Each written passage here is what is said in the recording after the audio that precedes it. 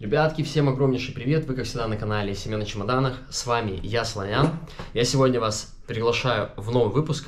И сегодня в этом выпуске вы узнаете, куда мы переезжаем, с какими трудностями мы столкнулись, как мы лишились всех наших э, нажитых вещей и как у нас вообще поменялись планы.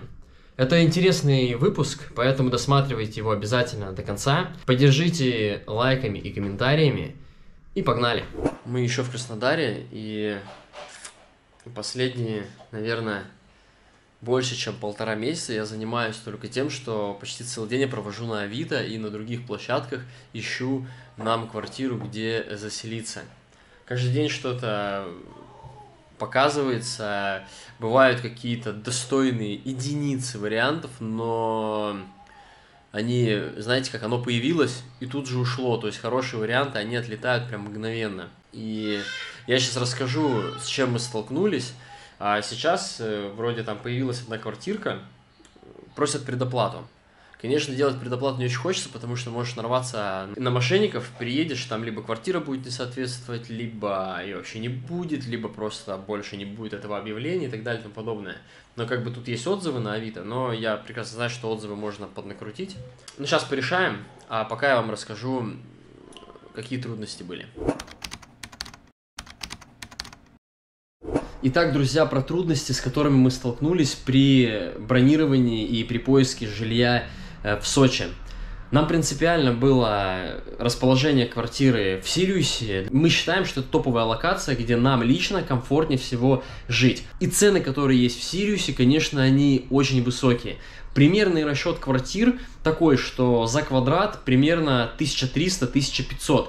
То есть, если квартира 30 квадратов, то цена это примерно 40-45 тысяч рублей. Конечно, для нас это очень много, учитывая нынешние сейчас обстоятельства, которые происходят. Следующий пункт это то, что нам было сейчас принципиально важно арендовать квартиру, которая будет находиться поближе к морю, чтобы, когда я буду уезжать по работе, чтобы Насенька с детьми беспроблемно могла доходить. Более-менее варианты по цене и по площади были за железной дорогой и за основной трассой. Это примерно где само Веселое, сам поселок Веселое. И дойти оттуда с детьми, тем более с тремя до моря, это, конечно, проблематично. Следующий момент, э, те квартиры, которые нам наиболее подходили, например, находились возле Сочифонии, возле реки Мзымта, такой достаточно прикольный райончик, есть река, есть тут же пляж. Были затыки в следующем, что вроде квартира нормальная, цена, в принципе, устраивает, а с детьми не пускают. Либо еще такой был момент, э, расписывают, э, что спальных мест хватает, что детская площадка, э, детский садик, школа, ты им пишешь, узнаешь, что мы с детьми, они говорят, а мы с детьми не сдаем. А зачем, собственно, вы это все расписываете? А еще немаловажный момент это то, что при переезде нужно закладывать минимум два бюджета аренды квартиры. То есть, как правило, с вас возьмут за первый месяц, за последний месяц, возможно, возьмут депозит, а если попадете на риэлтора, то еще и риэлторская комиссия. И, конечно, выляпываться в двойную или в тройную оплату нам безумно не хотелось потому что переезд мы рассматриваем э, до начала июня. В общем, смотрите, я с ней договорился, рискнул и просто написал, давайте я вам сделаю тысячу рублей предоплату. Насенька тут ходила и говорила, мол, типа, да ты чё, какая тысяча скорее, тысяч десять попросят. Но я рискнул и написал, тысячу достаточно, и она ответила, да, да, достаточно. Прислала номер, э, сказала на WhatsApp скинуть чек, для нас забронируют. И вроде как мы договорились заехать 29-го, 27-го оттуда съезжают люди, 29-го мы заезжаем. Расположение у этой квартиры великолепное, позже покажу. Да, она маленькая, но расположение и ну, на время нам этого хватит. В общем, сейчас чуть позже посмотрим, куда мы приедем, получится ли у нас заселиться. Безумно переживаем. Сегодня будем упаковывать все вещи, то есть в наши чемоданы. И будем заселяться в новое жилье. Я очень надеюсь, у нас это получится сделать. Я надеюсь, то жилье, которое мы забронировали на днях, э, нам оно понравится, и мы все-таки останемся там жить. Но об этом мы, естественно, узнаем. Наша задача будет сейчас собрать все чемоданы, у нас их три, сумки, пакеты какие-то различные, до собираться. Я начинаю записывать э, это видео еще получается за парам-пам, раз, два, за три дня до отъезда. Но будем плавно сейчас все это дело паковать-паковать и в путь. Первый чемодан, который мы будем забивать, это наш старый чемодан. Второй наш старый, первый уехал с вещами. Ручку нам оторвали в Турции. Видите, у нас тут даже бирки еще есть, вот как мы прилетели. Даже... Я теперь буду это Максиста всегда припоминать. Вот, э, видите, Домодедово мы возвращались из Турции, там, в Москву, а не в Краснодар. В этот чемодан мы будем упаковывать э, всякие детские вещи, которые не нужны уже будут, э, но нужны будут, э, когда станет более-менее тепло, поэтому сюда подальше. Ну а два других чемодана будем распихивать уже Насенькина и Мирона, а во второй мое нужное на первое время и пацанов. Сейчас еще нужно написать хозяйке этой квартиры, что мы будем уезжать не 31 как по договору, да, типа у нас, а чуть раньше. Так, сейчас мы напишем.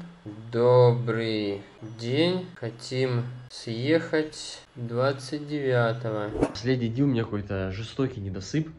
А, сейчас отправил всех своих на прогулку. Мне нужно сделать по дому куча дел через сегодняшний день, если не считать, только следующий. В общем, через один день мы совершаем переезд. Нам нужно всю квартиру, так сказать, э, убрать здесь все отмыть, все косячки, которые мелкие, если какие-то всплывут, сделать, дверки какие-то подкрутить, э, всю мебель отодвинуть, э, все промыть, чтобы хозяйка, когда приехала на прием квартиры, э, сказала, что все хорошо.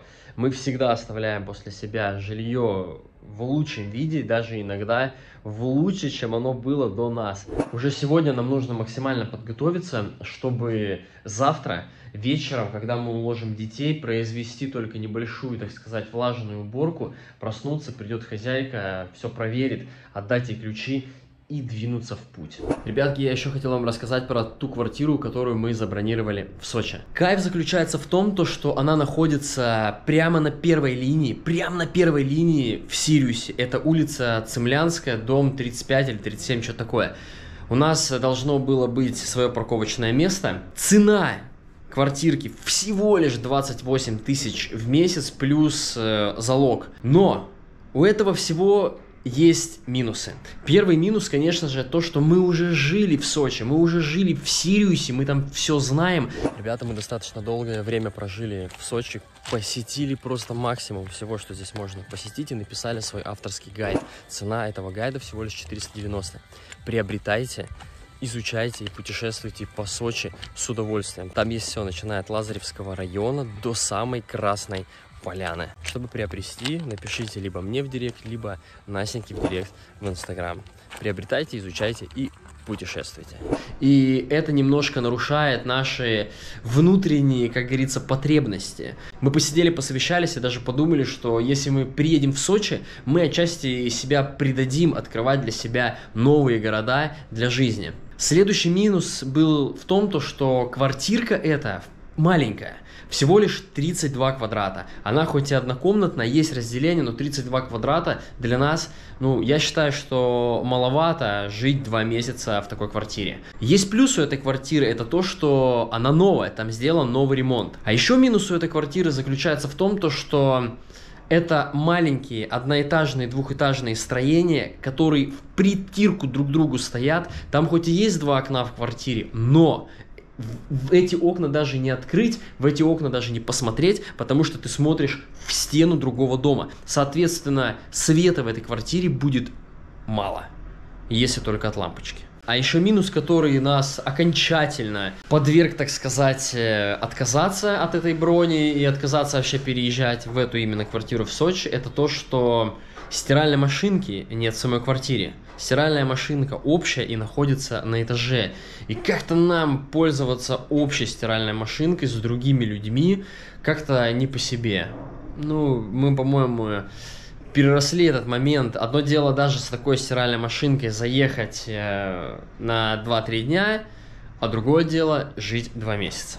Небольшая предыстория. Перед тем, как забронировать жилье в Сочи, Мы очень долго думали, куда нам все-таки переехать, потому что жить в Краснодаре мы больше не можем. Думали, гадали, думали, гадали. В итоге, знаете, как получилось, что а давай поедем в Сочи по ряду определенных причин. Окей, давай. И тут совсем недавно, на днях, друзья, я поехал в Геленджик по рабочему вопросу, и все изменилось. Смотрите. Слушайте, это что-то нереальное. Я вот э, вернулся из поездки, из Геленджика, да, вот в выпуске, посмотрите. И мы сидим, гадаем, что нам делать. Нам завтра уже съезжать. У нас в Сочи забронировано жилье. Уже мы даже скинули предоплату. И понимаем, что мы не совсем хотим туда ехать, потому что по нашей как бы жизни, по позиции, да, такой жизненной, мы любим открывать для себя что-то новое. Мы пожили там, пожили там, и хочется выяснить для себя, где бы нам хотелось бы жить подол подольше. А получается, что сейчас снова вернуться, типа, в Сочи. Ну, короче, решаем. Вот мы сейчас начали обзванивать квартиры в Геленджике, и, и думаем уже забронировать себе квартиру там. Куда нас сейчас занесет, я вообще не знаю. Мы реально мы странные. Вы даже не представляете, насколько сейчас произошел у нас геморрой и перестройка всех наших планов. Мы написали хозяйке здесь, в Краснодаре, что, мол, Ирина, мы завтра не можем съехать, давайте будем съезжать только 1 апреля. Как бы встречу перенесем. В итоге параллельно решаем э, с квартирой, с хозяйкой, с Геленджиком, чтобы ее забронировать. В итоге вроде нормально и все как бы окей, хорошо. У нее бронируем, переводим ей предоплату с этой с хозяйкой, с Краснодарем мы договариваемся на первое, в Геленджике тоже на первое. И сейчас вот э, решаю уже непосредственно с квартиркой в Сочи. Я вам покажу. Время не видите? Почти 11 вечера, и я уже думал, что все, я сейчас пойду спать, отдыхать, потому что сегодня не выспался, э, очень сильно устал с дороги. Но нет же, вы же помните, мы недавно отправили вещи. Так, смотрите, мы все вынесли. Вот такой у нас объем. Сейчас ждем водителя и будем загружать. Но моя команда шикарная. Мы настолько быстро все сделали. Один помогал, второй держал лифт. Настя следила за вещами. Вообще красота. Номер телефона. Вот, там, Да, да, да, да. Все, погрузили. Так вот, представляете, когда я был в Геленджике, я узнал, что водитель, который вез вещи нам, он попал в ДТП. Но, как он сказал, он попал не в сильное ДТП. У него там что-то с колесом. По факту, представляете, вот все, что мы на- нажили, все приехало туда к родителям просто в хлам. Уничтожено 95% всех вещей, которые мы покупали и отправляли. У него причем это все высыпалось по дороге, он что-то собирал, скорее всего, что-то даже не собрал, потому что мы, судя вот по кадрам, которые есть от отца, а мы просто не досчитываемся многого. А там была и техника, и дорогущий компьютер, и монитор, и детские игрушки, и лего. Это вообще-то просто, это столько денег. Я вам сейчас кадры прикреплю. Ну, вы только посмотрите, что произошло.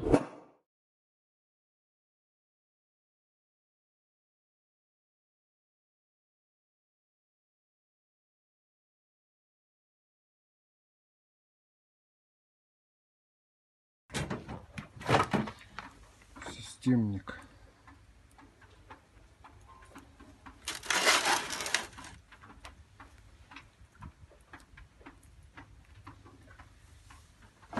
Так, монитор целый. Лежанка. Лежанка. Чемодан. Здесь пазлы, лего отдельно. Понимаю.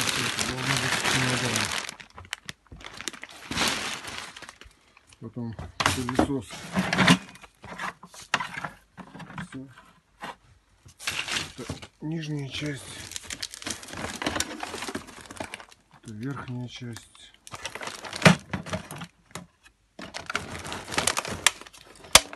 Соковыжималка. Короче, книжки. Эта коробка.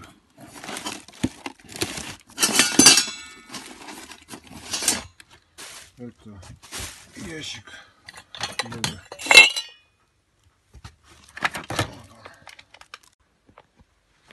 Вот он. Это танк. Короче.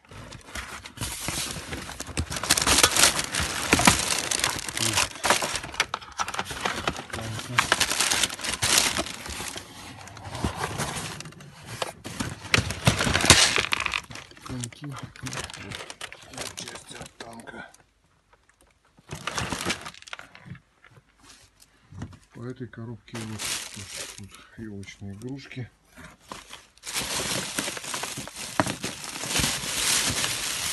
Гирлянда. Шишки. Ну, а тут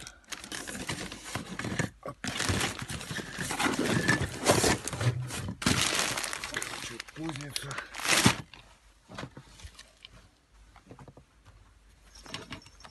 Это вот отдельно.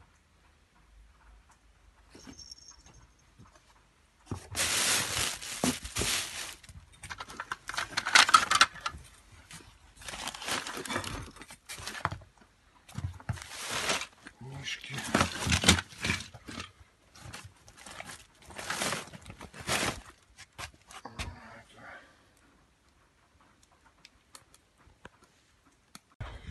Вот машина. Видишь, что с ней? Разворочена вся. Здесь вон дырень такая. Здесь вот все уведено. Вот. Дверь, морда. Ну, Машина вон расхерачена вся. И, конечно, попросил отца сразу же сделать опись ущерба. Э, Согласно фото-видеофиксации и так далее, вызвали уже хозяина машины, я с ним тоже связался, вообще как так, как такое может быть, причем он тоже не был в курсе, водитель это просто скрыл эту всю информацию. Я не знаю, что будем делать, но просто, знаете, вот так вот по щелчку мы остались вообще без всего, что наживали. По сути, это можно было даже не отправлять туда, в Москву, а просто в помойку вот сюда отнести и все. И то это хотя бы кому-то досталось. А сейчас все, что мы отправили, можно просто выкинуть в мусорку. Просто все выкинуть. Наступило утро. Мы вчера закинули, значит, деньги за новую квартиру в Геленджике. Вот, она будет с 1 апреля. 1 апреля мы поедем. Утром сразу первое, что я сделал, я детям рассказал о том, то, что игрушки ихние и огромное количество наших вещей, к сожалению, больше не будет у нас. Мы рассказали им про Лего, дети очень сильно расстроились, очень сильно. Я им объяснил, что чтобы они не переживали, моя задача решить этот вопрос э, с хозяином машины, и будем как-то добиваться определенных выплат за порчу, порчу, блин, почти всего нашего нажитого имущества. Не знаю, получится, не получится, но вроде пока, по словам, как бы должно все получиться. Ситуация, конечно, безумно грустная. Так, спустя полтора часа я закончил полностью убирать детскую комнату. Была произведена чистка дивана. Ой, это было очень сложно без пылесоса это делать. Соответственно, чистка ковра, он прям как новый стал. Э, Комод и остатки детских игрушек, вот так вот сложено, это все, что у них осталось. И на самом деле фраза «все, что у них осталось», она действительно такая есть, потому что я уже говорил, да, ранее, водитель попал в ДТП, и нам привез наш груз просто уже все, почти 95% в непригодном состоянии. Это можно смело сейчас отнести на помойку. Единственное, ждем, скорее всего, буду делать экспертизы, чтобы вернуть хоть какие-то деньги. Поэтому пока это ничего не выкидываем. Я на самом деле почти уже все закончил. Устал, конечно, неимоверно. Это еще такая основная причина, почему мы вообще не хотим больше рассматривать Краснодар как для жизни, ну, по крайней мере, ближайшие, наверное, лет сколько-то там, 10, потому что здесь постоянная стройка, нет дорог, из-за этого постоянная пыль, плюс нет деревьев, которые хоть что-то в себя впитают. И получается, что дома, когда открываешь окно на проветривание, всегда сразу залетает сажа. И окна, сколько бы мы ни мыли, я сейчас вам покажу. Вот, видите, окно на проветривание стояло после уборки, и вот прям таким следом задувает. Собственно, открываем окно, и окно всегда находится в таком состоянии. Я его мою, ну вот видны следы, что я его мою, и буквально через день вот такая вот херня постоянная. Ну и, соответственно, видите, как вся такая грязь. Так, друзья мои, коль мы про недвижку сегодня разговариваем, приехали в такой вот райончик. Как он называется? ЖК «Прогресс». ЖК «Прогресс». В этом, значит, э, находится по пути в Ейск, ну, в Краснодаре. Вот Сонька здесь купила квартиру. Артём, Э, подождите, в общем, не тыкайте, там ничего. 2 600, однокомнатная, 28 квадратов. А что мы смотреть ее не будем? Сейчас выйдут ключевые. Вообще, первое, что я здесь сразу заметил, что очень сильно бросилось в глаза, так это, посмотрите, сколько много парковочных мест. И это при том, что сейчас уже вечер, 8 вечера, прикиньте. И Соня говорит, что этот район строился по той схеме, что на каждую квартиру э, закладывали они три парковочных места. Ну, то есть три машины на каждую квартиру. Из-за этого здесь просто с парковками не бывает никаких трудностей. Чем мы? Кухня. Есть балкон. Ну, у тебя хоть балкон есть, действительно. Так, шкаф. И комната. 28 квадратов здесь. В общем, я это снял вам показать, что вот какие сейчас цены в Краснодаре. То есть раньше эту квартиру можно было бы, наверное, за лям или за полтора даже купить. Сейчас вот 2600. Это вот прям минимум, ми- минимальная цена рынка в Краснодаре. Сейчас хочу вынести и загрузить в машину все, что связано с палатками. И такая ностальгия накрыла, видите? Все вот так вот разбираю. И так хочется куда-нибудь стартануть, развести костерчик, поставить мангал, заночевать. Опа! Сейчас буду все это дело укладывать уже в машину. Так, я тут подумал, как мне справиться. Тёма, Родя, одевайтесь. Моя поддержка. Вот мы уже все и собрали, мы уже, так сказать, на низком старте. Нам осталось только завтра догрузить машину, дождаться хозяйку, сдать ей квартиру, отдать ей ключи, двинуться в путь, доехать, заселиться в новую квартиру, и надеюсь, у нас это все получится. Но обо всем вот об этом уже будет непосредственно завтра видео.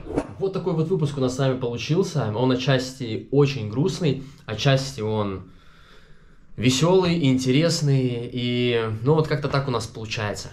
Уже завтра вы узнаете, куда мы переедем, куда мы заселимся, где мы будем жить, и я надеюсь, у нас это получится сделать и организовать. Очень надеюсь, что все пройдет гладко. С вас, как всегда, прошу поддержки, это сейчас очень сильно важно. Ну а я пошел. Пока.